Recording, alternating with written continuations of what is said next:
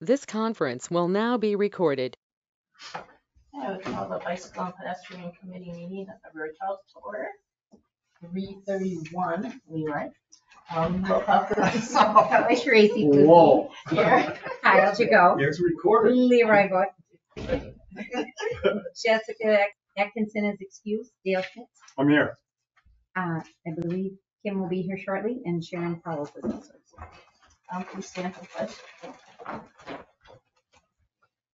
pledge allegiance to the flag of the United States of America and to the republic for which it stands, one nation, under God, indivisible, with liberty and justice for all.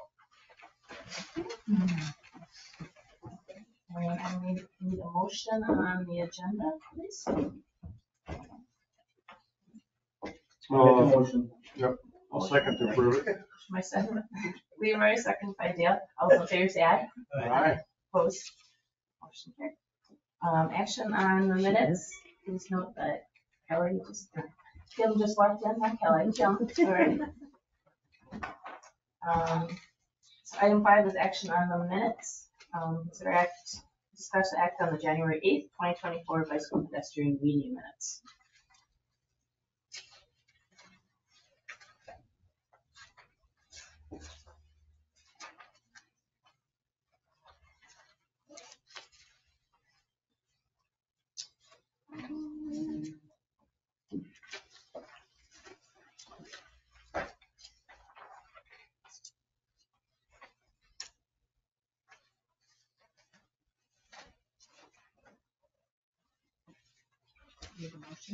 Need a motion to approve the minutes, if there's any changes that anybody has?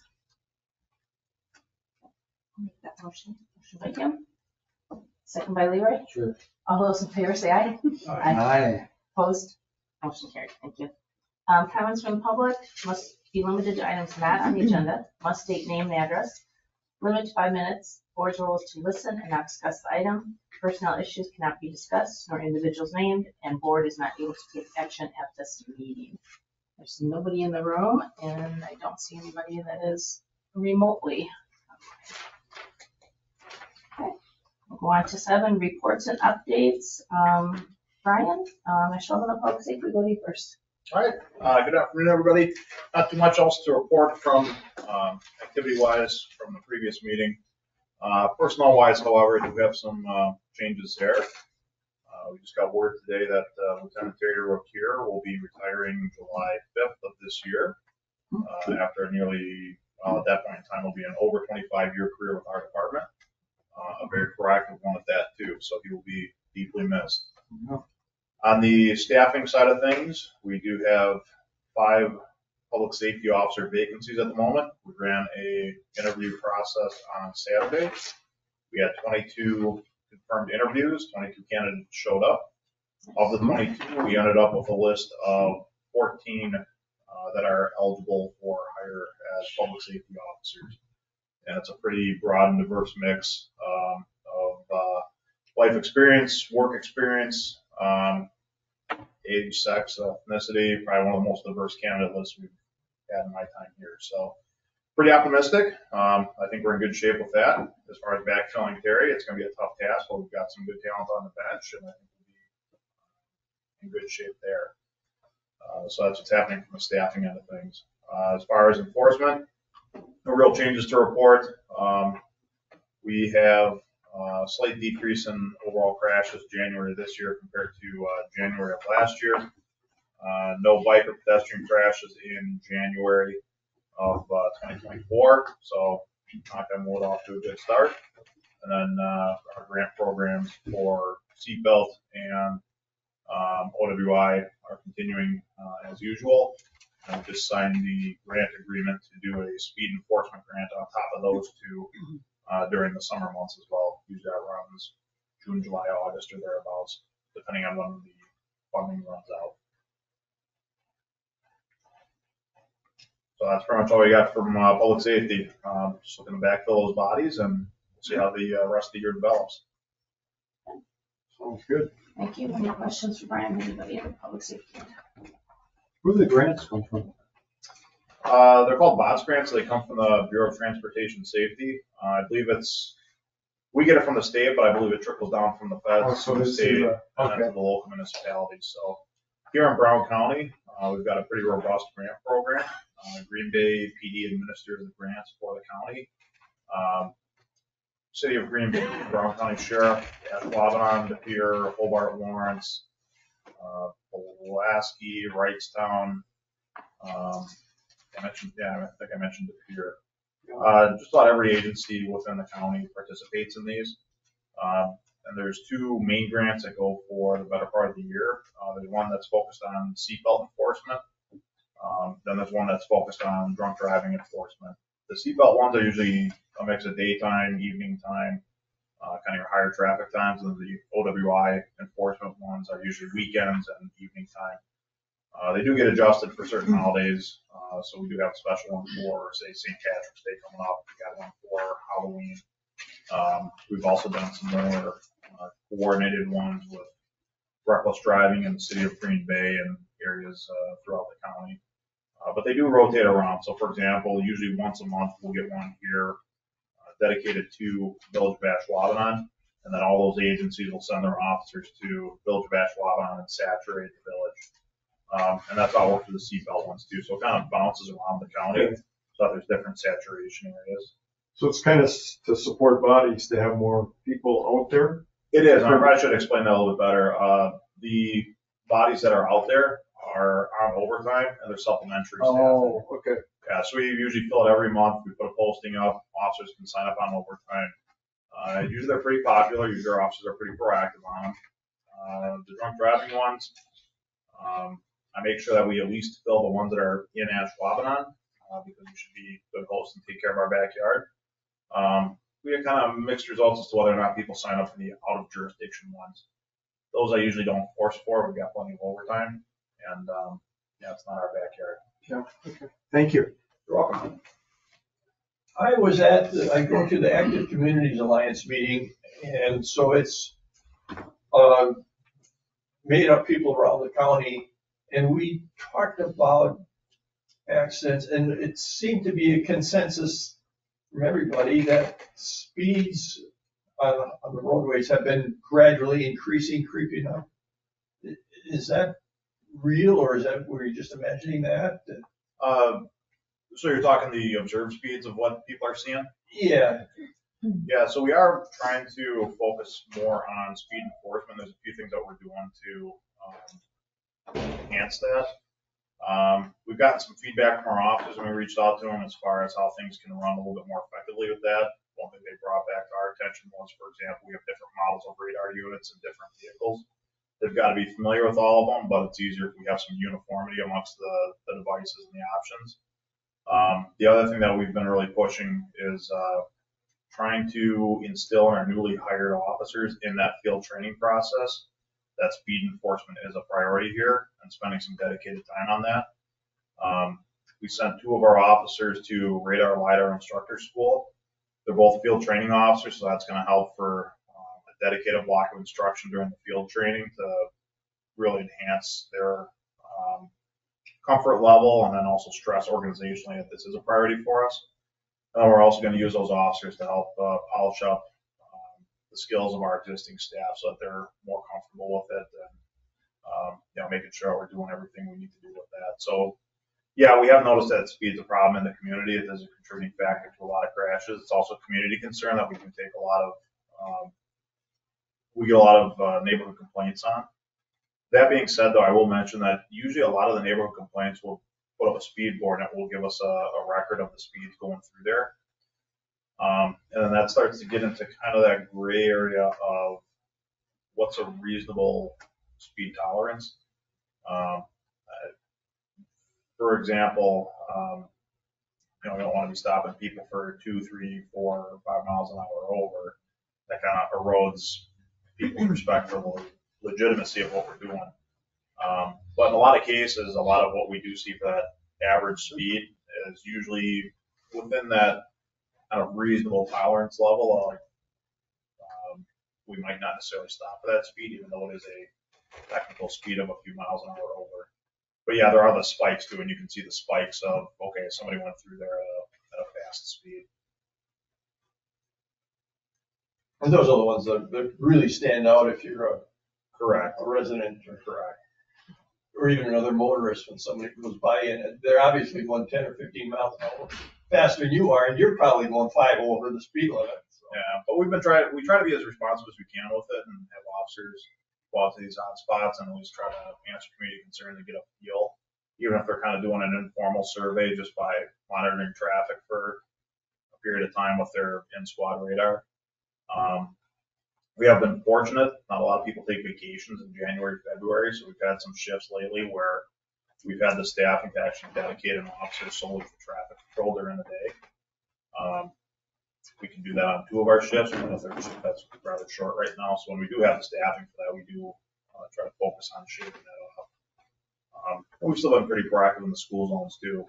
People have been driving fairly well on them, so not a lot of citations and stops, but at least high visibility as best we can. Thank you. You're welcome. Question, question on, the- on the, it's got nothing to do with biking or walking, but of the fourteen candidates that you, you know, that have been selected, are they, are they all, do they have to go to school after? It's actually a mix, and this is kind of the, the nice part. Um, so you do have a mix of people. Uh, we have two on the list, I'm sorry, three on the list that are currently serving law enforcement officers. We have three or four on the list that are currently serving, uh, paramedics or paramedics. Um, and then we have several on the list that are in or have recently completed paramedic school or the police academy. Now, as far as which ones we pick, um, philosophically, we try to hire for character and train for skills. It usually seems to, to work out best. Um, and either way, we're gonna end up training most of our candidates anyway because of the diversity of the skills that we do need to train them in. Yeah. Um, a lot of times it comes down to just trying to plug and play based on, say, start dates for the academy. We have a, a full-time academy that starts in January. And then also trying to balance if we take the lateral candidates, can we get them field trained up in time to make EMT class in the fall? If we take the fire medics, can we get them hired in time to make a summer academy? If not, we work them on shift as paramedics and then send them through the January 2025 academy. Um, so kind of a lot of moving parts to it. Uh, but the, the main thing is we're really looking for character and fit. Uh, and then we can, we can plug in the rest of it. education training is about an eighteen month process when can come in, roughly with no formal, they have to go, let's say they just graduated from the academy. Yeah, they have to go through the academy, that's an eighteen month process, that doesn't include FTO, that's just through schooling, that's something, right? Yeah, about eighteen months, yeah, that'd be about right, so if they were able to start the academy right away, and then you've got, so as an example, the academy starts, the next one starts, uh, I think June thirtieth, and goes till November sixth.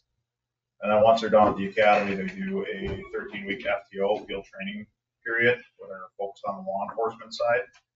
That's gonna get them into tail end of February, and we have a guy that we sponsored in the last academy, and he's just wrapping up his field training right now. Um, unfortunately, if you get done with field training in February, your semester's kind of shot for doing EMT or fire. So we have to hold on till, for the current guy that we have coming off of FTO, we have to hold off until the fall to send him through his, uh, fire school. Uh, luckily he already had EMT, so he's good there, but if you needed both of them, it wouldn't be until May of the following year that they would have EMT and fire. Um, and then paramedic is a voluntary thing if people want to do it. That's a year-long class in and of itself that you have to have EMT for first.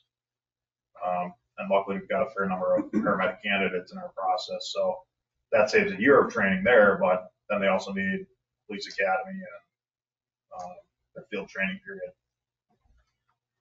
So they're literally not on the street until they get completed with all that training, Uh, at least until they can complete their police training.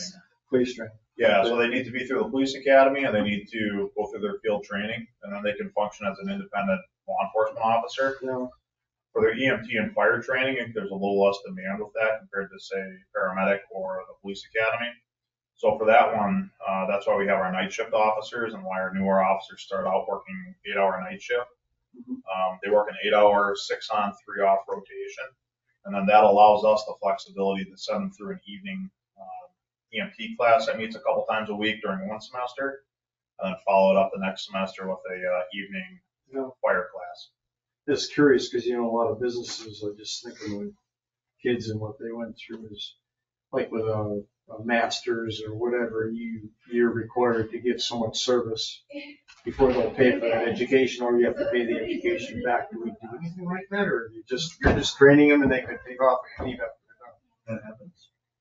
That, that can happen. Yeah. Uh, we're not paying for a college degree. Um, as far as the law enforcement academy, as long as they pass the law enforcement academy, that tuition is covered by the state.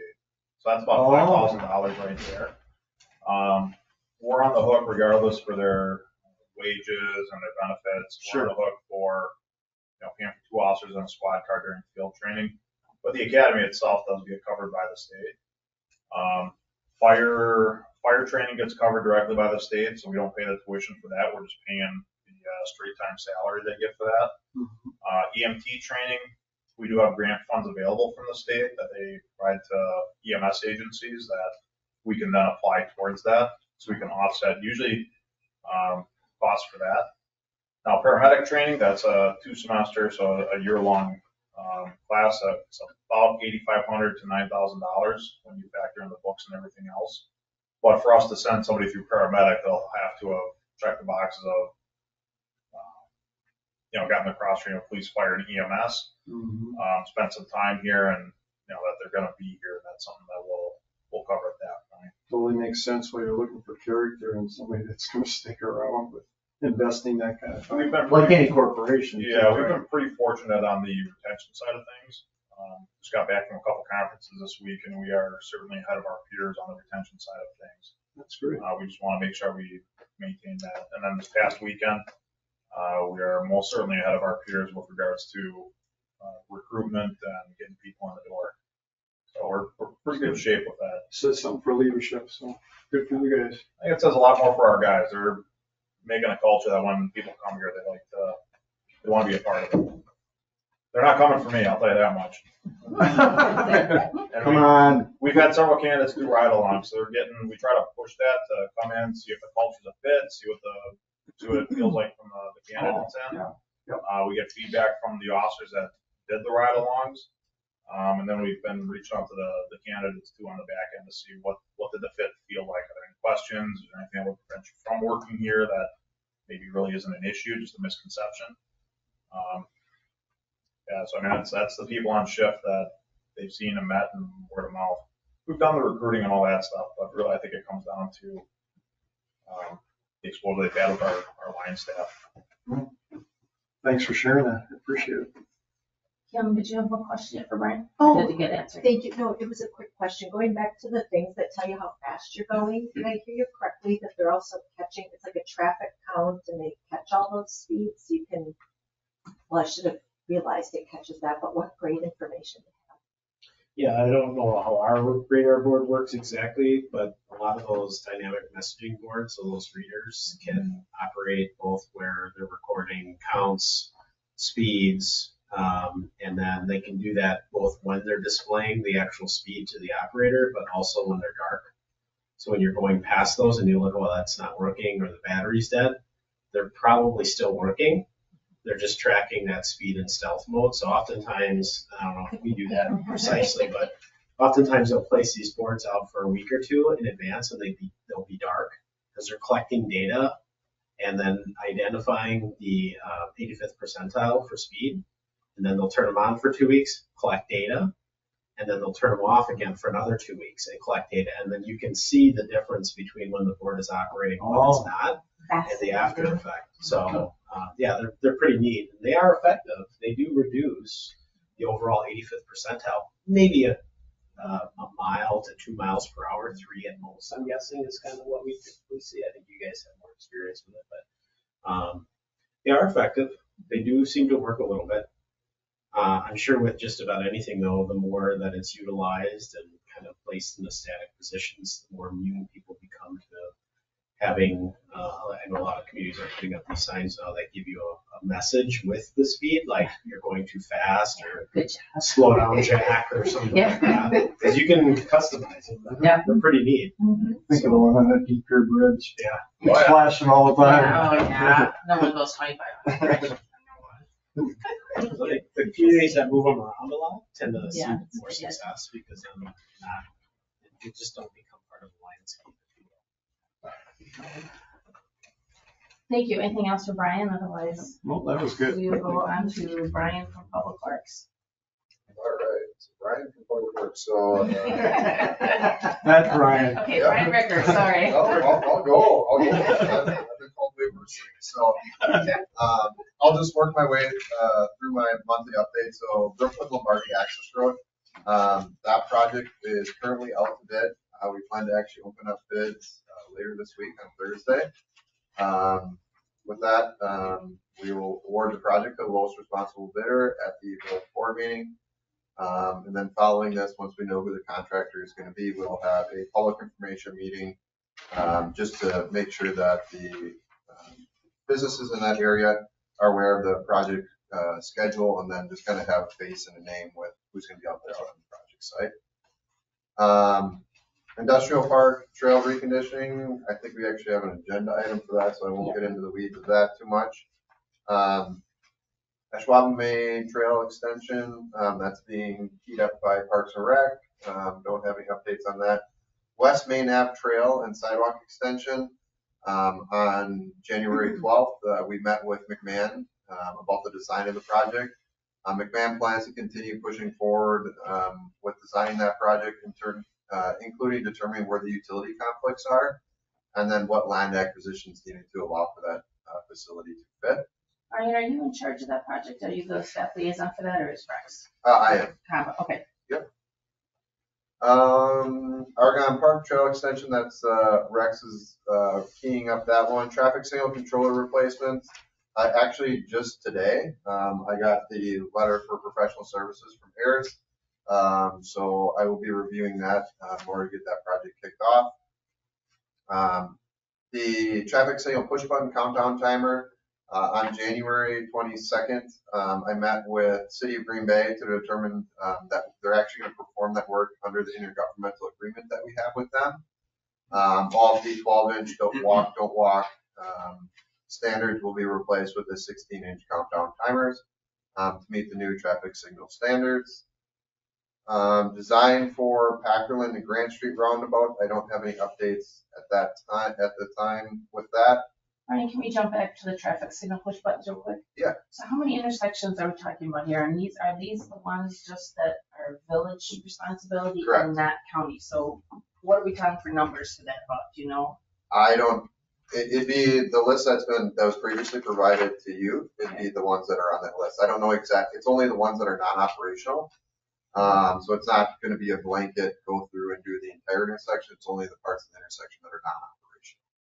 And the buttons themselves will be part of it, so it'll be a countdown timer. and It'll be bigger than the ones that are out there right now that just have the hand or the Yep, the block thing on it, and they'll have the countdown on it. Correct. And it'll do, will it do all four quadrants of an intersection, or just if the ones are bad? just the ones that are bad. So you might have combination at an intersection, Correct. some countdown, some just hands. Correct.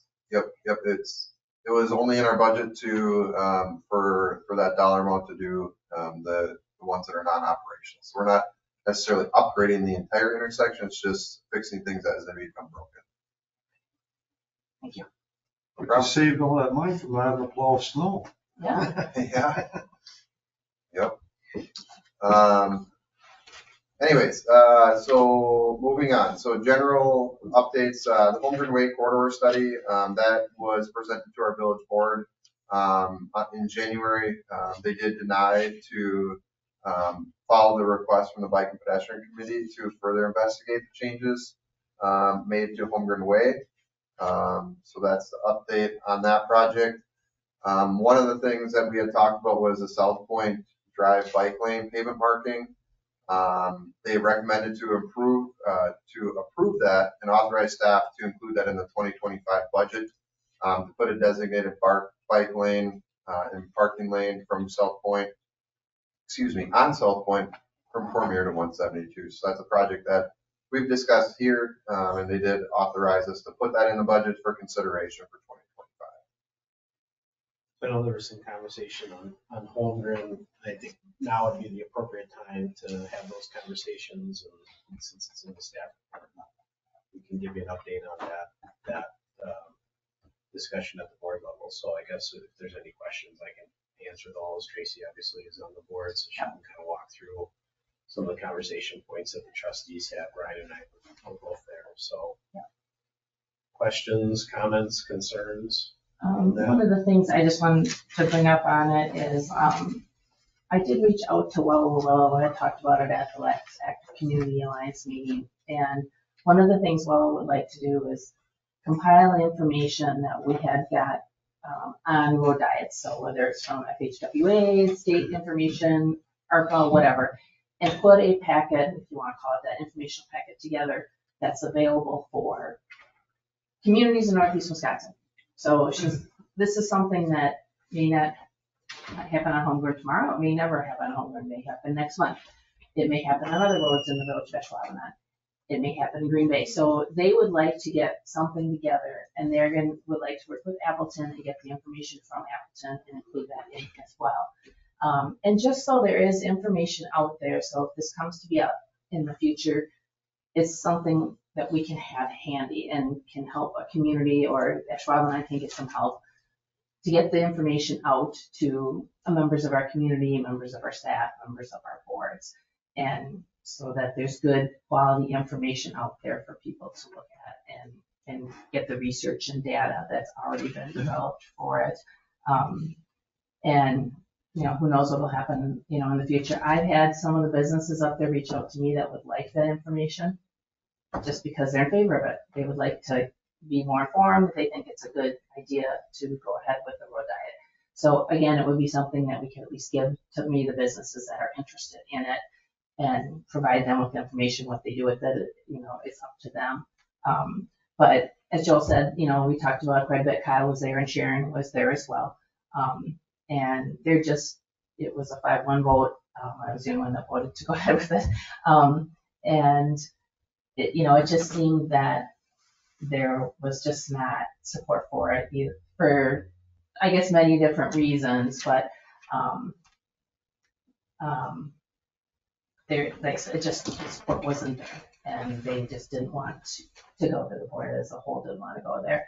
Um, Kyle did get a chance to speak, um, and did, you know, make a few comments on it, but, um, But they weren't open to further discussion once the Appleton thing is in place for a while. You know, that came up a little bit, I would say, but then, no, then it was like, that's a totally different thing that, that has no impact on us. Like, because it's a totally different area, it's a totally different thing, is what I got out of it, what they're saying, that it doesn't mean anything to them, because this is something totally different up here. And, you know, and my thing on that is road diets are in many, many different areas, and they work. And whether it's Holmgren Way, whether it's down in Appleton or whatever, um, you know, it's, it's something that research and data has supported I for many, I- many years. I guess my feeling would not be so much that is if you're not open-minded enough to, because you guys as a board have to be open-minded to many other things that are done in other cities. You learn from each other. Yeah, exactly. If you don't learn from each other, or, because sometimes it's, it's a, you learn the hard way, Right, which get expensive. Yep. So I'm a little surprised that it was just like, no, it's completely different, you know. And again, I wasn't at the meeting, so I'm, Right, I'm yeah. just, I'm not throwing stones here at all. Right. I'm just saying, I think it'd be worthwhile to revisit it once we have information from Appleton as to what did it do for them.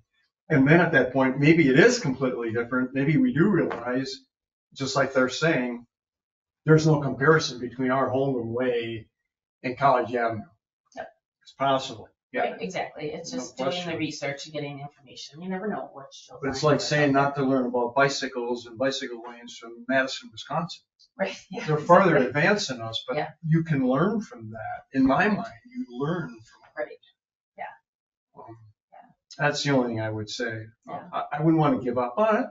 Right, and I mean, it's certainly maybe Joel can make a comment on this, but I mean, it's not like we can't come back and look at it in the future, I would say. If we decide we want to look into it more or get some more information or whatever, the motion just precluded any stakeholders meetings moving forward. So we weren't going to go out and meet with any, or the staff wasn't going to go meet with any of the business owners, the apartment managers, nobody about, To present. about it to present it. Yeah, that was, well, we were not take that step. It wa- I guess it was my observation because I was there and it, and Mitch Sherman was there. And it seemed to me there were a couple of the trustees that were a little bit open to listening. But then there was others that were pretty definite. I think one of the statements, and I'm paraphrasing, was Holmgren Way was made to take traffic off of Oneida Street. We don't want to interrupt with that. And I think part of it I feel that we had, a- we made a mistake in the way we presented it. I think we needed to, and in the future, we need to more, to anticipate what the objections are gonna be and just present it a way to counteract those, counteract those objections. Just the, the feeling seems to me, and I, I think I've said this before, the feeling in the village is, well, roads are designed to move cars, and that's what we have to be concerned with. And I think if we had presented it in a matter of- of, this might be a way to decrease traffic congestion, or it might improve safety for vehicles, you know, that would have been a better way to do it than, you know, we presented crash data and said, we'd like to talk about it, and they just, you know, we needed to give them a reason to, to look at that. And we didn't, I don't think that we did as good a job as we could have to say, here's the reasons, not from just a walking and biking standpoint, but just from traffic flow on the roadway. And, you know, the village certainly, and I understand Holmgren Way is designed to move cars, but I, I live on Cormier Road, and to, to me, Cormier Road divides the village. If we come down Cormier Road to Oneida Street and we go north, there's an awful lot of residences there. It's half, you know, one side is residence, the other side is business. When we get down to Holmgren Way, if we go that way, there's, you know, that's becoming more and more residential and the, the housing units, if you count the number of housing units, you look at all those apartments, you know, it's really residential down there. If you go the other way, if you go south on Oneida Street, it's, it's all traffic. It's all moving cars and access to businesses. And you get on Holmgren Way and you go south. And we were talking about the part of the roadway that is north, that's in the residential side, and not the part that's going south. And I think they just focused, you know, when they have a picture of the Holmgren Way, they picture the roadway going past the mall or something. So I think we, you know, we failed to really anticipate what they were gonna, what their objections were gonna be. And then we didn't present it in a way that would have counteracted those objections. I would say in all fairness to them is they also didn't have the advantage to listening to the gentleman that presented the safety and how it would work. So they're just basing off, we're switching Holmgren way. Well, they I I probably would feel the same way because I wouldn't understand, well, what is it, what does that do? Right? I Where we had the opportunity to have him come here Right. and That's right. explain what, what it could, and not to say that's what you want to do, but at least explain what it could do for you Well, and the board by had, having the those center turn board, lanes. the staff did provide that, that document to them, but you're right, having someone Not present the it same versus as, yeah. maybe looking at it in your packet, maybe not, but reason to it. So you're right, it may, might have made a difference, but it wasn't a choice that was made. So I, you know, I take, I see what you're saying, Kyle, I think all those points are good ones too. Yeah, you know, anytime you're trying to sway somebody to your way of thinking, even if they're, whether they're opposed or whether they just don't know, you have to, you have to, you know, you have to do a sales job on them. And I think, I think in the future, we need to do a better, a better sales job, a better way of presenting this stuff. Well, Yeah, when we think when we did, when we did the trail clearing, you guys, we Yep. did a really good job of that and presented it, talked about it, and we had a lot of board members there. And they decided they were gonna do that. So you're right, we didn't do our due diligence, I guess, with Holmgren Way, and we probably should have. It's a So, little easier convincing though in Holmgren way. it- you're right. There's a you're lot right. more detail there and I- and that's Yes. where I would have wanted a professional on board Right, and. that have really full understands it. present- I wouldn't even wanted to try to explain it. Yeah, I know. Because I That's true. remember the questions we had for him Yes, when he was up here. It's not simple to understand. I, get- I get it. Why, why would that be better than what we have now? You know, and and I don't know how the, the agenda for the village, village board is established. I'm sure some of it depends on what else is coming up, how much time they had. But I don't think there was much of a time for us to give a presentation. I, I think they had it just A lot of time. you know, they got the notes, they read through them, and they had decided, or at least some of the members had decided. And it would have been our job to say, you know, we just want to do a study, we want to talk further, we want to talk to the people on the street, the business owners, and we didn't have a chance to do that. And I think going forward, we have to be cognizant of that, and that's what we have to do if, if we have an issue that we want to describe, we want to talk about.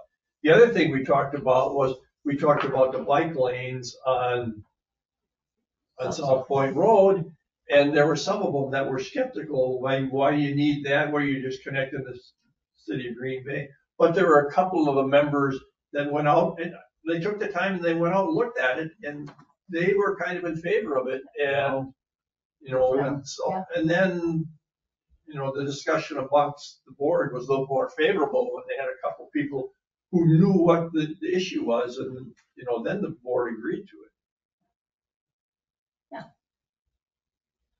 So I would be interested in letting some time pass and when there's data available for Appleton, at, as you said. Yep. Bringing, bringing that for our review and discussion, and then at that point determining what our next steps are. Yeah. And I know Natalie, the director of Wello, is going to meet, be meeting with a representative from the Wisconsin Planning, Regional Planning District or something like that. I can't, I wrote it down on my scratch right with me. Um, next week. So she's gonna talk a little bit about road diets with that person and see if there's anything state has or any information they have that maybe could be compiled in that report too. So I agree, you know, see what, Appleton, I'm sure Danny from Appleton would be happy to give us the results when, when they get that done and then see what else is out there. There's a lot of AARP information that wasn't shared with the board either. They have a lot of good information on road diets and why it's really important for senior citizens. And, you know, less, um, less traffic to cross, cross is better for seniors and for young kids and anybody really. I mean, a four lane road crossing is a lot safer, a lot more risky for people than a two lane road. So, And it may be safer for cars too. Yeah. Yep. You know, if you have the turn lanes a little bit more organized and more regulated, then, you know, I think, I'm sure the traffic or police department sees, and public safety sees a lot of, lot of accidents involving cars turning. that's Well, what we Cole's were- report talked about that. Yeah. Yeah, and that's happening for four lane road, you know, people buzz around the left turn and people are the right now, so.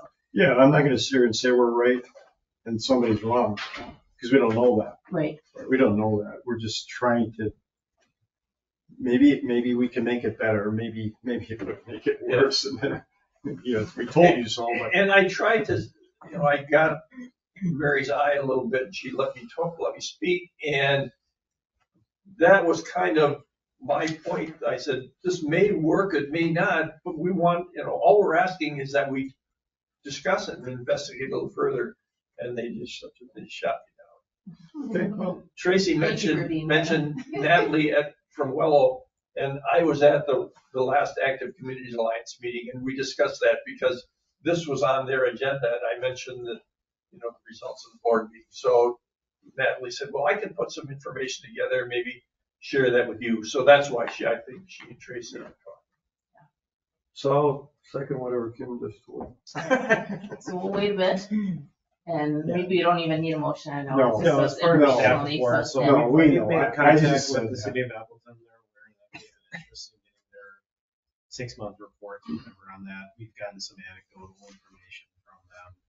Um, I think in this particular case, from a board's perspective, we have a lot of conversation with staff, with individual trustees. I think you'd be hard pressed, I'm not saying that the board is close-minded, but they had, they had their ideas set before this even was put on the agenda. Sure. And this was originally conceived to have Brown County do the review of that project. There were already concerns from individual trustees at that point. I think I mentioned at the, at the last Bike and Ped meeting that you have a set of perceptions, whether they are real or just perceived, that will be extremely difficult to overcome. I, you could have the world's greatest salesperson there, and I don't know that you would have changed anyone's point of view uh, at this point. So It's personal truth that sometimes that's you're just never. what it is. And And- and it's unfortunate, you know, Yeah. it's, Yeah, and so as staff, we gave them, it's a policy decision, and we gave them two choices um, to make, is recognizing that it's going to be very difficult to change their policy viewpoint on the matter.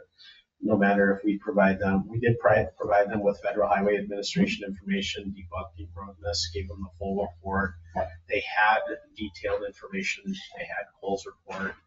We would have been welcome to, uh, you know, certainly present that information if they desired, but we knew or I should say I knew before that, that it would be a very difficult sale um, to change their point of view on this issue. They, they made comments that were very truthful from that respect, that Holmgren was designed to divert traffic, vehicle traffic from Oneida, and they are committed to, to that. And I don't know that changing the configuration of the road is going to satisfy their point of view. I'm not saying it's right, I'm not saying it's wrong, I'm just saying that's their point of view. Um, and so until we get further information and, and, and maybe they see or feel something that's different than what they have today, it's gonna be, it'll be a challenge to convince their point or change their point. And that's, Like, uh, that's I really. can remember when when we didn't like roundabouts. yeah, exactly. And if you think about like the history of, and I- that brings up a good point, that the history of that farmland, if you think about certain things, roundabouts on Lombardi. That was the original game plan Yeah. at the interchange and the consternation that that created. Oneida Street, especially the southern leg of Oneida Six Street lanes. by, it's six lanes and not four. You know, so Oh, there's, there's a history Yeah. here in this community of this perception that we are here to move traffic quickly, and the only way to do that are through these traditional means of signalized intersections, more lanes of travel, means more efficiency. It, it- you just Someday all to. us old people will be gone. Yeah. And then things Just might change it. change when Yeah. you get the young people in You here have Yeah. a, you have that a, like bicycles and. Yeah, so it, it- it's a tough, it would be a tough position to try to convince them otherwise. I don't know that, no matter how much information you would have presented to them, that they would have changed their mind on this issue, to be honest. yeah. Yeah, I mean, Holmgren Way looks like Kyle alluded to, it's much different looking now than when it was built. There's massive amounts of residential up here, it's very dense residential, and you need to revisit, just like we revisit our, our um, comprehensive plans every, what, five years, because things change, and you wanna stay on top of it, you wanna make sure that you're serving that area. And they Yeah. weren't ready, and that wasn't something in their mind at this time, it's like, we move them through. But at some point, you're gonna have to look at it again and say, okay, where are we at on this? And do we really want to move people in other modes to Because these here? people in these apartments, gotta have, some gotta have bicycles. Oh, I'm sure they You do. think of the territory they're in, rather than Yeah. hopping in a car, Right, can get and- your bike and going. out Yeah, to some restaurant or Right. walk, or walk, whatever. it's, It's it's more conversations you have with stakeholders, if you're talking to Right. business owners and other residents on the street, if they communicate with their trustees and Right. like, you know, give them their feeling. Yeah, Maybe yeah, there's yep, change. sway it, maybe Yeah. sway it, yep, for sure. Um, the more they hear it from not only this committee, but other constituents, the the likelihood that perceptions will change. Uh, Um, Tracy, Tracy. I mean, uh, I misspoke when I was talking about crash data. Um, and my columns backwards. Uh, we actually had an increase in crashes in, uh, January of twenty-four compared to January of twenty-three. Uh, still no pedestrian or bicycle ones in January of twenty-four. We did have some in January of twenty-three. That looks like a lot of that, uh, um, uptick in January of twenty-four compared to the previous year is, uh, due to winter road conditions, uh, as a crash flag. And those are kind of clustered middle of the month, so we did take a hit on that, but yeah, I just want to make sure I accurately put that out there. Thank you, Big Brian. snowstorm when they couldn't get the ice off the roads. Yeah, or the lights, you couldn't see the lights, 'cause the snow Oh, was yeah, in there, because the too. LEDs don't, well, that's not, yeah. That was bad, I was out and I saw two crashes that, that morning, people going through the lights. Yeah, that was bad. And a lot of those were intersection related too, so Yeah. those types of crashes. Um, Brian, is there anything else that you wanted to share? Nothing that I have. One thing I want to share under um, Brian's, um, for, and Brian probably has realized this too, but Paul Fontecchio, who is the Brown County Highway Commissioner, has resigned his position. And he, they have, um, put Cole Runge, who's a gentleman that did that bicycle pedestrian plan for us, in the position as interim basis, um, until they get a new highway commissioner. Um, one of the things, again, that came up with the Active Communities Alliance is, um, they would like to put a letter together to Troy Streckenbach, um, encouraging him to look for a highway commissioner that thinks about multimodal. So thinks about moving people through our communities, through Brown County by foot and bike safely. And, um, so Natalie's gonna be working on that. Um, we did the same thing when Dave Hansen was a traffic engineer in Green Bay. When he left, I still don't think they filled the position. They have not. Um, yeah, they, um, were, they talked to the mayor in Green Bay and suggested again that he look for an engineer that has some multimodal, um, background and thinks about, um, traffic movement in that manner. Um, what Natalie's been doing is putting a letter together that she's gonna try to get out to the different communities, um, and the different stakeholders in the area, whether it's a, you know, bicycle pedestrian, um, nonprofit or whatever the case may be, and see about getting people to sign on to that letter to send it on to Troy. Um, the other thing that she's looking at is maybe setting a meeting with Troy and seeing if someone, maybe the, a public works director from the community, maybe an administrator or mayor or something from the community would sit down with Troy as well and say, these things are important to us. These are things that we've, you know, struggled with in the past, so these are things that are good, and see if, um, the public works directors in the area and the administrators in the area can get a little more, um, involvement in that whole process, because it's a very important position, it's a key position, and it, you know, roads are built and they're with us for 25, 30, 40 years, and they're not gonna change. And when something happens and it's not done properly or it's not looked at, we're stuck with it for the next, you know, 25, 35 years. So, um, so I'll kind of keep the committee about in the loop with that, and maybe it's something that even as a committee, we would like to sign on to. Uh, letter, and again, I don't know if that's appropriate, Joel, or if it would be more village board if they would do it or staff. Um, but- but I'll just keep you guys on the loop on that and where they are with that. And Kyle, you were at the meeting, I don't know if there's anything that add on the, that particular item or, Yeah, they didn't discuss that, a letter all that much at the meeting, so maybe they talked amongst themselves. Okay. Yeah. And I know one of the things they're gonna talk to Troy about too is the projects that are ongoing right now.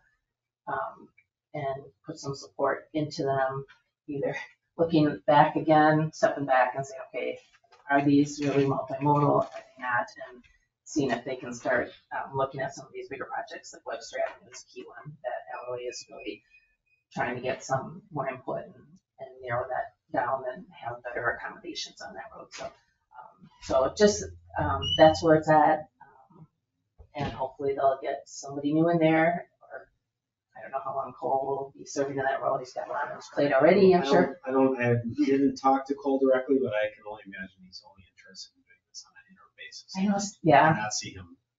yeah, I don't, yeah, I don't either. Someone asked me that if he would take it over. I'm like, I, that was my comment too. but- You know, they did, talk- the, the meeting, they did discuss Webster, and I just, my thought was, you know, depending on what they do in Webster, could have an effect as to the likelihood that we could get changes on Holmgren Way, because if they, they Yeah. change Webster to make it a little bit different than four lanes as fast as you can drive, you know, maybe that will be an example that be a little more palatable to the board, where we could say, well, it's just on the other side, it's in our community. Rather than.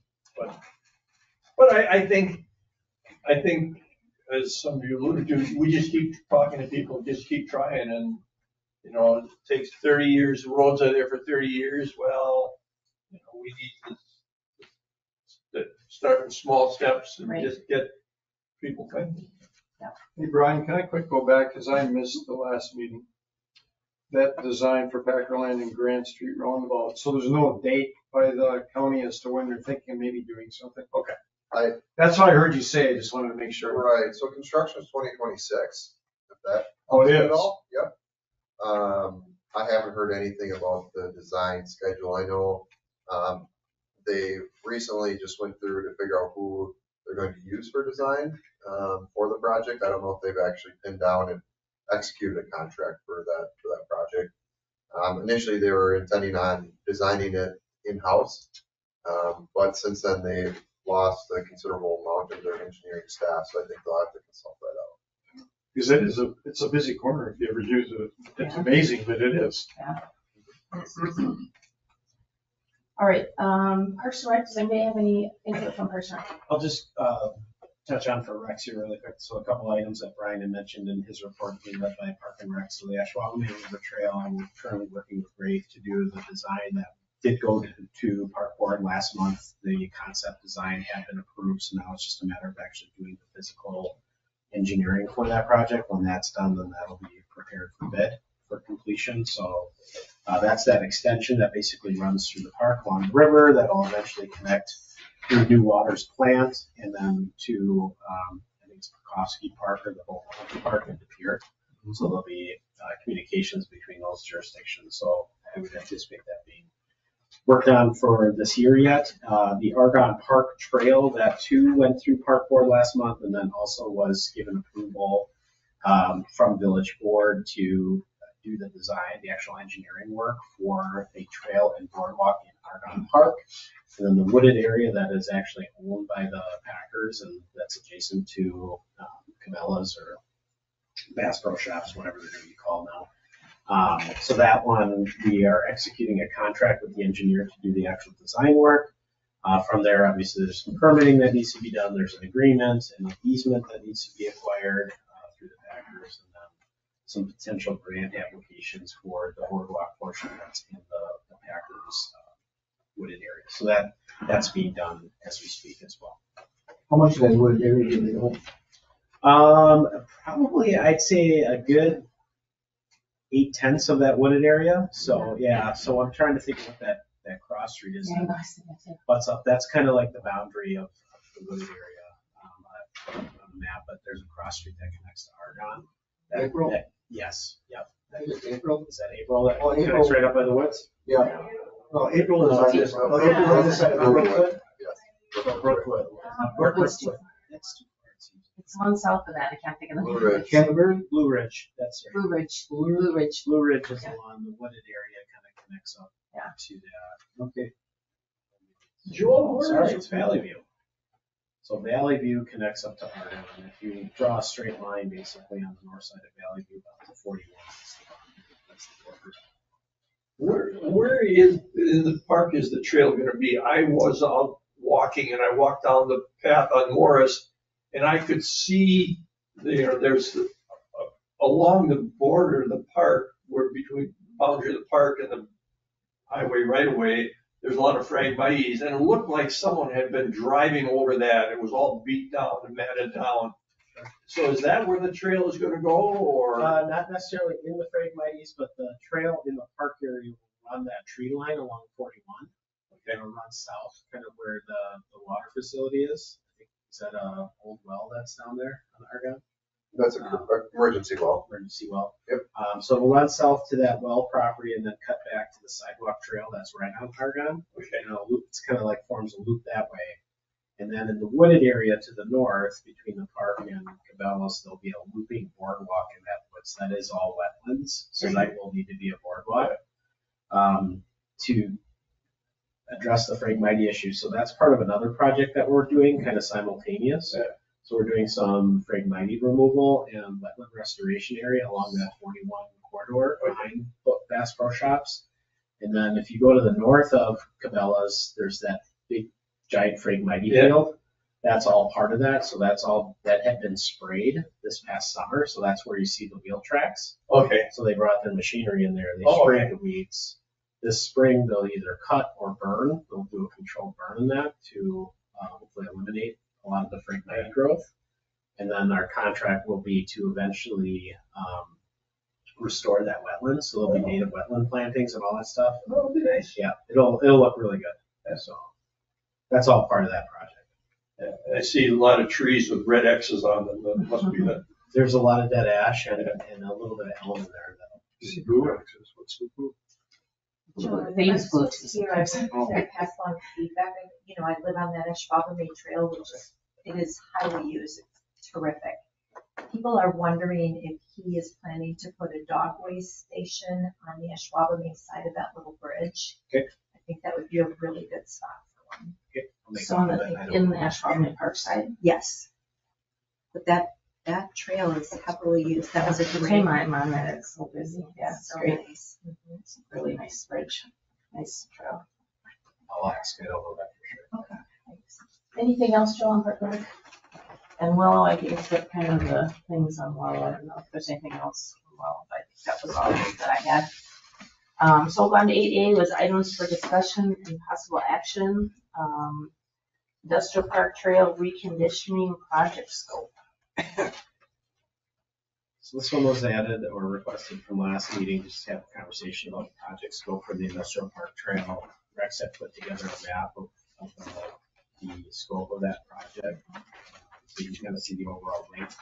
The Original plan that's incorporated in the twenty twenty-four budget, uh, again, is valued at about hundred seventy-five thousand dollars. And it was to essentially mill and pave or pulverize and pave the existing asphalt trail and then repave it. There are a few specific locations on the trail where there needs to be some base repair, meaning the, the gravel base is either non-existent or um, uh, inundated with, with water, things of that nature. So I think there were some plans to, to improve the base and then maybe add some additional drainage, and Brian can kind of touch on that a little bit. Um, but beyond that, that, that is really kind of the overall scope of the project. Was based, based on our understanding, there was a request to have a conversation about the overall scope, I think primarily related to some of the intersections of the trail within the industrial park. Uh, whether that be parking restrictions leading up to the egress points onto the trail, or even the centered bollards within the trail as well, and the possible removal of those. Um, so at this point, we hadn't incorporated any bollard changes as part of the project. We were going to work around the existing bollards. Uh, the no parking thing, that could be something that's addressed operationally in all likelihood. It's just an extension of those, of those no parking areas. But, um, so with that, I guess I'll open it up to the committee and get your feedback.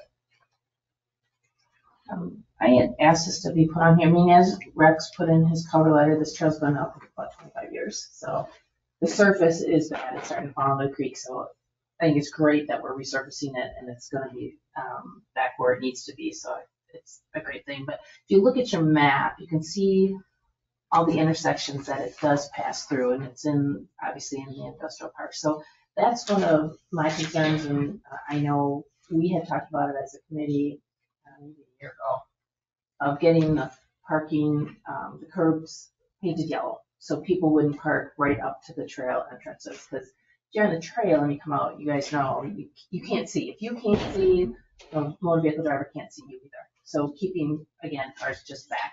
And I just, my request is just that we revisit that again and look at it, because I think there's some spaces where we need to go back a little bit further, particularly near, near the gentleman that, um, has a record, a record company, where he pulls cars at Ashland Street, I believe. Yeah. I'm right. Um, they used to park, they actually parked walking the whole trail. Um, so we moved them back, but there's, there is a um, hydrant there, and then they just park way too close, even you can't, can't see to get through. So I think just revisiting that, and looking at that when we do the trail, because obviously if we're refurbishing it, it hopefully will be busier. It's busy now, but I think we'll pick up more people in it, and we wanna make sure it's safe. The other part of it is, it was built twenty-five years ago. And the manual, there's a manual of uniform traffic control devices that's out there that we have to follow when we're building trails, when we're building roads. Um, and Brian, please correct me on any of this if I'm saying this wrong. Um, it does address everything from motor vehicles, signage to bicycle and pedestrian signage and what needs to be done. So they just had version 11 came out in December of 2023, so they've revamped it a bit. So my request, I guess, is that we have our staff look at the current manual and see if the ball- the bollards, what the current recommendations are, or standards, I should say, um, for bollards on trails is. We do have bollards now. Bollards, my understanding, have to be bright colored. They have to have retroreflective. They have to have paint around them, letting people know that they're there. We have none of that out there. Um, so there would need, you know, be some changes, I think, that would need to be on the bollards if they, if we choose to remain, they, them to remain there. Are also some safety issues with bollards in the trail for people that are using the trail. So that is my request, that we're going out there and doing it, and I think it's great, and I'm really excited that we're gonna redo the trail and repave it. But I also would request that um, staff looks at it and makes sure that that trail meets MUTCD and the current recommendations and standards that are out there, and we move towards doing that and making sure that it's, it's a safe trail and it meets current standards. Are the bollards there just to keep cars from driving down there or? When they, for years and years ago, when, and Brian, again, please correct me if this is not the case, um, but my understanding for bollards, they were put on trails originally, or recommended to be put on trails because of the fear of cars going, uh, driving there. Um, since that time, they do not recommend them anymore. They don't, want- they don't recommend them being out there because of the safety issue for bicyclists. And that trail especially is, is narrow. And when you're coming to the um, crossroad, there's not a lot of space on either side of the bollards out there to get by on a bike, especially if you're not, if you're an experienced bicyclist, it's kind of hard to get by. Um, I know Rex had said that the people at the record company had, you know, used it at one time, but the bollard was there and they still went around it and drove on the trail to put all the cars in, in their parking lot. But, um, so that's my request. I mean, the MUTCD covers everything from if you're driving in Utah or you're driving in Wyoming or you're driving in Wisconsin, the stop sign looks the same, right? Doesn't matter what state you're in, they all look the same. So that's the kind of thing that MUTC does. It, it makes, it makes standards, requirements for communities to meet, to make it safer for people to use those facilities, whether they're driving, whether they're walking, whether they're biking. So it's consistent throughout the United States. Um, and like I said, I just think with our, with this trail, if we're doing it, we should look at it and make sure that we are, we have the safety part of it covered out there. Give me those initials again. Um, it's MUTCD, it's a Okay. manual for uniform traffic control devices. Okay. It's a federal document. The state of Wisconsin has adopted it in Wisconsin. They might have made some changes, Brian, in it maybe? No, I don't think there is any changes. Okay. There might be some stuff that's specific to Wisconsin, but I don't, I'm not aware of any of, just kind of get up to speed with what's in the new MUTCD.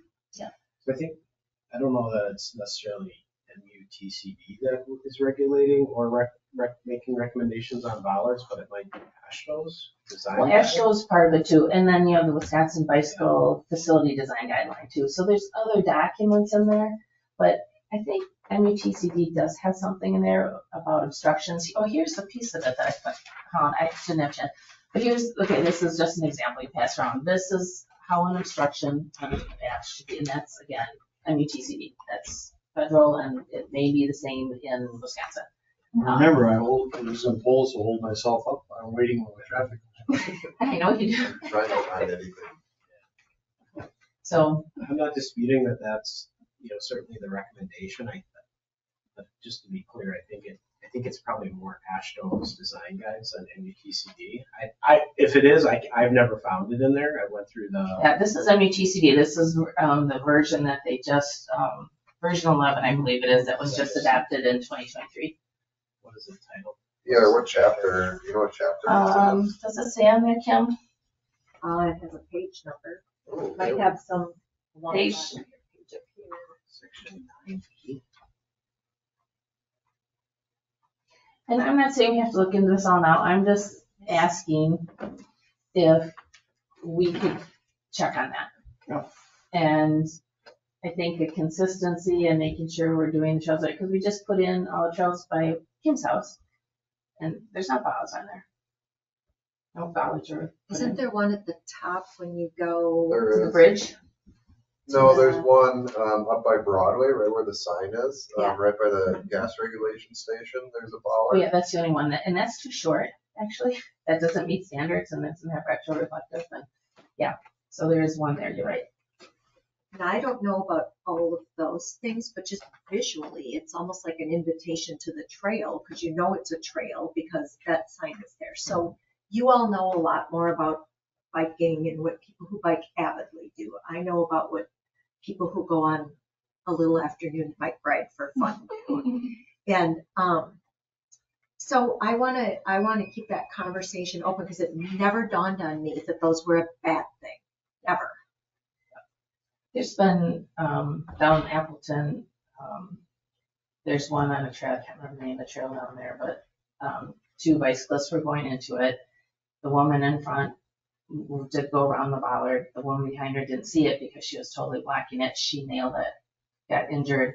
Um, my husband was an expert witness on the case, so was aware of it, and he's had several cases that he's worked on in regard to bollards and people running into them. In fact, I was out on a trail one day and some lady just nailed a bollard. Just, yeah, just went down, went down hard. So they, you know, they're, they are safety. Sensors in her bike, like Tesla? she does, I don't know. I think she was a more Self-driving inexperienced bike? bicyclist, Yeah. yeah. I don't know. But, but yeah, that's why I had asked it to be on here. Like I said, I think it's great it's being redone, but I just would love for us to look at it and see where we're at and what the current standards are and, um, if the values remain, then they should be in there properly and they should be the color There are little stop signs on those, I'm trying to think back when I ride that. There's stop signs on the side of the road, on the side of the trail, I should say. Small little. Yeah, you know, and here's the thing with, you know, just that this happens to do with science, but, you know, again, what they're recommending as far as sign placement. You know, how far it needs to be above the trail, how far away from the trail, um, for safety reasons. But those poles are, I have to be honest, those yellow is my, like, from a distance, I'm like, oh, intersection coming up. You know, I don't really look for the sign because I know the poles are there. Yeah. Because I do travel that one a lot, and it's Yeah. pretty, it's pretty rough It is, right yeah. now. So, yeah, I mean, I would just, Overhead signs, cool. yeah, yeah. That'd be perfect. I mean, the Fox River Trail is redoing, repaving their trail, and I had talked to the engineer at the meeting to see if they were recommending bollards, and, and they are not. She's like, no, we do not recommend those on trails anymore. They're not safe. Um, I mean, I could see that. Yeah. Because if somebody really wants to get down that trail with a toy or, They're gonna they'll get there go, anyway. they'll go around, they'll get around. They're gonna Yeah. get around it, yeah, so. So, yeah, that was my request to put in and on, and just to see where we go and have the- our professional staff look into it more and see what they come up with, and maybe it is what we wanna leave out there, that's fine, but then we should make sure that they meet, they're in there properly, that the color they should be, they're retroreflective at night, they have the paint designating them properly, um, all of that if the bollards are, are going to remain, so that it gets done properly, so we don't have issues and hopefully no one runs into them. That's right. So, So we need to, or, or even at least if we want to revisit this in spring when it's warmer and take a yeah, maybe make a ride motion down the that ask, you know, ask staff to do some checking and come back with a recommendation or, you know, look at it through. um, Well, I mean, if we're, you- you're right. I mean, if we're gonna, if they're redoing the path now, now would be the time to look at it. Right. Um, Yeah, because if, if the bollards are removed, if they are, then obviously the paving, paving is slightly different because then you're, also having to pave, you know, you're doing maybe Knowing Brian, potentially he more. probably would appreciate a little more work, so. Uh, Of course. Well, it would be- something to do. Yeah, It would right. probably be easier if you did have have bollards from the standpoint of you're putting the asphalt down, you don't have to work around those things. Yeah, it's true. We're not bidding out no pave until probably May, Maybe, yep. so Hmm. I think what, I guess my recommendation would be for the committee is you can certainly make a motion to direct staff to identify a potential op- opportunity to upgrade or Upgrade the- improve the bollards. You know, basically put together a a recommendation back to Yeah. the committee on the bollards themselves, stay or go. If they stay, what standard do they have to meet, and then identify the standard, we can provide detail on that. And then with that, I would maybe recommend, if we're gonna do that, let's look at all of the traffic control devices that are along the trail at all the intersections. Mm-hmm. And we can identify that. They're, you know, just looking at Google Earth imageries and Street View, and there's some signposts and things like that that are leaning and Yep. signs aren't meeting certain retroreflective standards potentially. So we can do a full we Yeah, can do an inventory, it doesn't have to be Brian. And We'll they're eventually have an engineering tech on staff, we'll send that person out, that would be a good job for that person. And they're tearing up the entire path anyways, that's the timing. Yeah. You're one, guys are still here. We're almost Hey. The only thing I will add to that is obviously the budget is the budget. Um, This was not incorporated as part of the overall scope of the project. So whatever decision is ultimately made, will likely bid it as an alternative. So let's say the bid project comes in at hundred and fifty thousand and the alternate to do any of the additional traffic control devices is twenty-five thousand. Well, then we, we move ahead with that additional. right? Yep. Uh, But at some point, we'll have to decide if, if that item should be incorporated into the project, if that makes sense. That's how I would bid it out, that way you're making it clear. So that would be my recommendation for the committee, is that would be your motion, is just have us do an inventory of what's out there, identify what the standards are that are needing to be met, come back to the committee with a recommendation in order to either meet standards or, or remove the items. You know what, Kelly? Okay, so who wants to make that motion? I'll make that motion. Dave Dale made the motion. Anyone seconding? I'll second it. Thank you, Joel. Kyle. All those in favor say aye. Aye. Opposed? Motion carried. Thank you. Um, eight B, consider discuss Anderson Drive bus stop near the high school. So at this point, I think we talked, um, at our last meeting about extending or making changes to where that bus stop is. We do have a call into Metro Transit. We're waiting to hear back from them as to what their recommendation is on that particular stop location. Uh, we talked about probably later this year as we prepare, we, we, we agreed that we probably won't be able to make changes for this school year, just given the nature of the timing.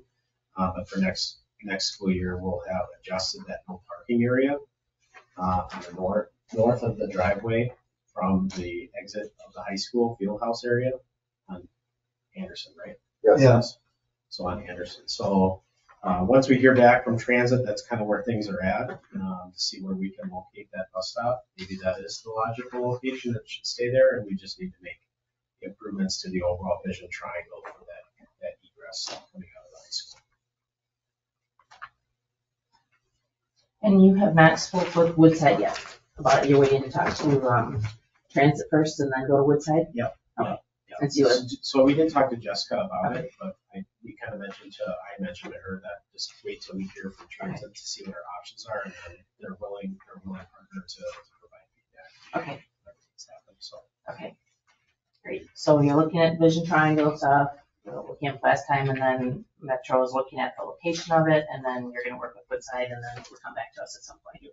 So just an informational update of that. Unless there's some other change or directive, that's where things stand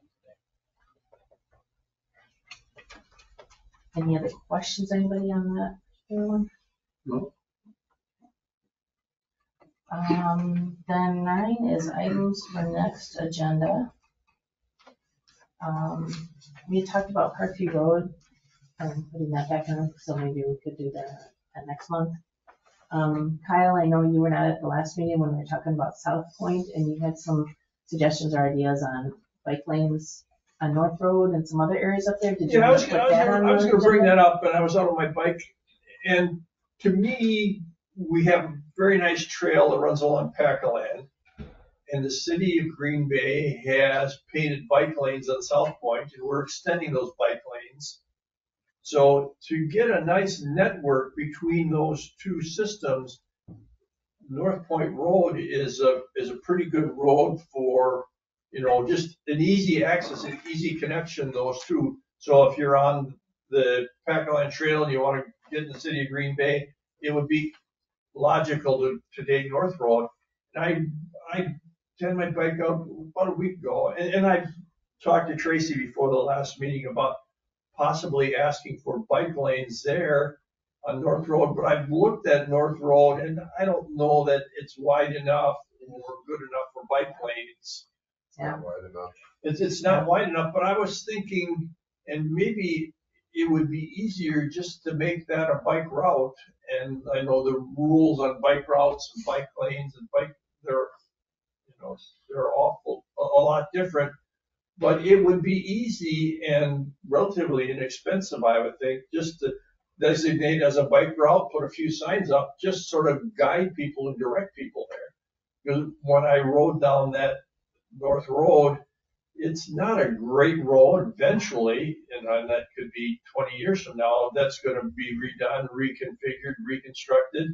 There's a lot of vacant land there that, I is in some cropland preservation district or something where, you know, there- but I, I would think that somehow that's gonna be developed. You know, and when you develop that vacant land, that farmland, you're gonna have to redo the road. So if we put a, you know, de- designate that, that as a bike route now and get people used to riding that, you know, that would be beneficial to the cycling population now. But then it's gonna be easier to make bike lanes or make bike accommodations when and if that road is done. Is that by Lamers, are you saying? that? Yeah, yeah, so if you go to South Point, you go to Lamers and you end up, you know, you run into the, you get to the trail. And if you're taking the trail and you want to get to South Point, you know, you get to that little park and just, the trail just stops at, the- at that little park. And if you try to get out onto Cormier Road, it's difficult to get on Cormier Road. I suppose you could take that little street, take that back alley that goes through that gravel parking lot, which the village has signs there telling people not to drive on. But I think if, if we could just make that connection from the Packerland Trail to the bike lanes at South Point, that would just sort of add some connectivity. Mm-hmm. And I know I've been on the bike and ped long enough that at one time there was a consideration to make bike lanes on North Road, you know, ex- extending further east, and it wasn't wide enough, or for whatever reason, that wasn't done. But if we make it a bike route, you know, we could just send people all the way down North Road all the way to connect up to Cormier. Yep. And Well, if you would like, Kyle, we could put this on the next agenda, because it's not on here, we can't really discuss it too far now. And just maybe look at the whole area. Yeah. And see what's there, get a map, look at, you know, what kind of facilities are there, what's not, what the roads look like. And just really brainstorm in that area and say, how can we move people through here safer? And get some ideas. So if, if you're okay with that, Kyle, we could stick it on Yeah, I would, I would love that. I the think that next, would- that would um, be- agenda, maybe just discussion of, um, the North Road or the Cormier North Road area, like accommodations or something like that. And just really look at it and see, cause, um, you know, I, s- I know what you're saying and I think I messed everybody up trying to explain it at our last meeting, cause I did a very bad job. Um, so we'll hopefully get a map and be able to look at it and really kind of digest it a little bit better. Okay, so Parkview Road, North Road, um, the industrial park trail, if that could, will that be back or you want, need more time for that? Uh, probably a little bit more time, Okay. uh, just because I, I think what we'll do is we'll send out our new engineering tech in Okay, March to so- do that. That'll be their first job. Okay, so we'll say, we'll put that off a little bit, industrial park trail. Is there anything else that we want to revisit or bring back on the I have agenda? a question. Sure. For Joel. Okay. Can you hook up to the screen pretty easy? Yeah. Okay, so in the future, I think I've made the suggestion once before, I'm not sure how it went over. Is when we're talking about a particular area, like you talked about North Road, could we put the map up on the screen so we're all on the same page? Yeah. Not, because some of you guys know Eshwell a lot, but I've lived here a long time, but there's streets I don't know. Yeah. I don't know them well, I don't know what the intersections are, I don't, to me, that's, it's like doing a presentation to the Yes. board and not having all the information. Right. Right? To me, this is the same thing. Yep. It just would be, especially if you have easy access to it. We can just throw a map up quick and, hey, here's North Road, here's what you were talking about, the gravel park and, because I'm not familiar with that. Right, I agree, that would be nice, and I know we do, Haley has helped us in the past with that, and Joel's clear up, so yeah. Um, it's something that definitely we can do, so, And it isn't that often we'll probably do it. There's It's times when nice it to can have come them. in handy. so you can see and how everything's. I didn't know how easy it was to connect to that. It's really hard. It's really Is hard. Yeah. But he's so Change good, it. he Don't can. listen to him, Yeah, no, it takes a lot. yeah, but We'll, we'll get it all right, so those two, if there's Right anything here. else that comes up, um, or anyone else has anything else, please feel free. Um, otherwise, um, item ten is our next bike and ped meeting is scheduled for March eleventh, twenty twenty-four. And then we just need to adjourn. You'll be kidding. I'm not kidding. Come on, Blue, right? What do you guys, what do you have to? motion, we There you go. Is there a second? I'll second. A motion, and a second. All those in favor say aye. Aye. Aye, aye. Opposed? That wasn't recorded, was it? Yes, it was. It was. We still had it on.